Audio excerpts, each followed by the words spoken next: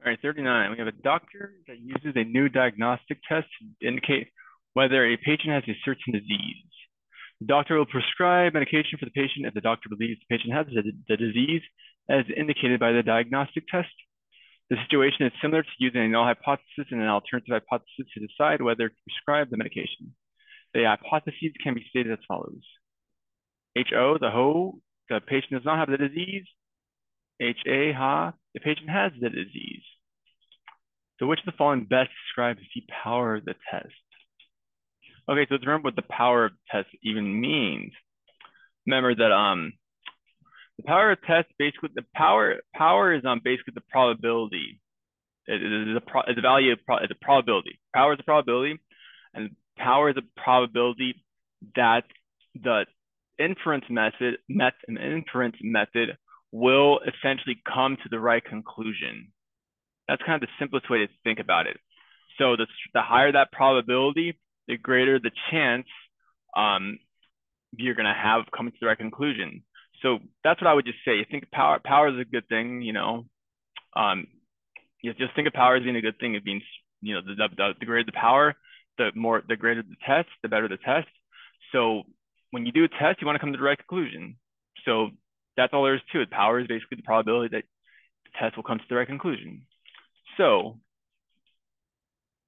let's see which of these will work. The probability that the new test is better than an older test indicate whether, nope, nope. That's, you know, they're, they're overcomplicating that. B, the probability that the new test indicates a disease in a patient who has a disease. Yeah, see, so it comes to the right conclusion. That's what we want. That, that's exactly what power is in this case. So that the answer would be B. Let me just look let me just look up for the other ones to, to see if there's something for, for maybe why, because I can explain why it wouldn't be any of these. The probability the new test indicates disease. So that's, you know, that, that's the opposite of power. That would be like, that would be something maybe weakness or something. That would be, that's not what you want. It's not C. Does not indicate probability does not indicate. Again, yeah, nope, not, not C or D. The probability that the new test does not indicate the disease. Yeah, these are all, yeah, these are no, we don't want that. Again, power, power is a good thing when you're doing statistics, and it's just basically the probability of coming to the right, to the right conclusion. All right, final multiple choice.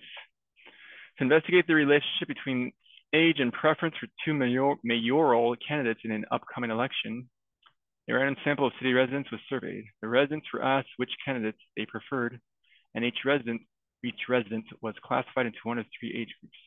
The test statistic for the appropriate hypothesis test was 3.7408. Approximately, what is the probability that the observed responses would be as far or farther from the expected responses if there is no association between age group and preference? So this is just the, the p-value of the test. Because again, when you're conducting an inference test, um, what we our p-value basically says the probability is basically telling us the probability that we would get results as extreme or more extreme that the of that the data is showing if we assume that null hypothesis is true. And again, so if that p-value is very small, then it's basically saying that these results are you know unlikely to occur. You know, so it's more it's it's probably it's probably more probable. It's probably more smart to, to, to assume that the null hypothesis is incorrect. So in this case, we're going to be looking at a chi-square test for independence. This is going to be our chi-square statistic. So we want to see what's the probability of our chi-square statistic being greater than 3.7408.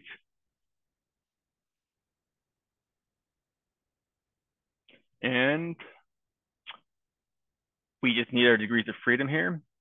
Degrees of freedom, will be number of rows minus one times number of columns minus one.